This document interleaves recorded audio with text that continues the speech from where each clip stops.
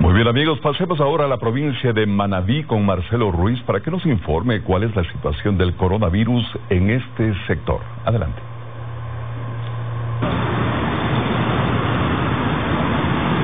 $14.212 casos confirmados de pacientes COVID se registran en la provincia de Manabí. Puerto Viejo mantiene 4.658 pacientes confirmados por COVID-19. También hay que indicar que las camas de los hospitales en sus áreas UCI se mantienen copadas hasta el momento en un 100%. En Manta, el panorama es otro. La cifra es de 2.039 casos confirmados. Aquí en esta ciudad se vive un ambiente de tensión en vista de que el alcalde Agustín Entriago se encuentra hospitalizado desde el lunes 14 de diciembre.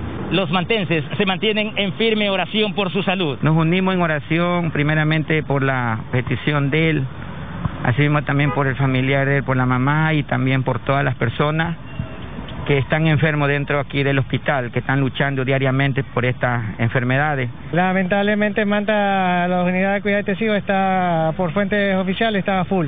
Hasta el hospital de Líes de Manta han llegado funcionarios del GAC municipal, familiares y amigos del alcalde Agustín Intriago.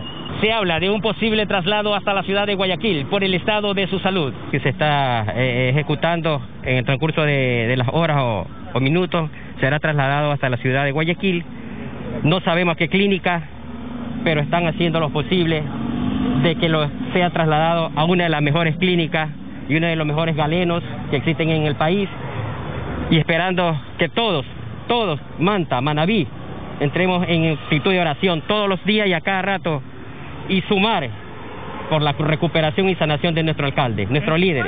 Anoche por fuentes oficiales cayó en unidades de cuidado.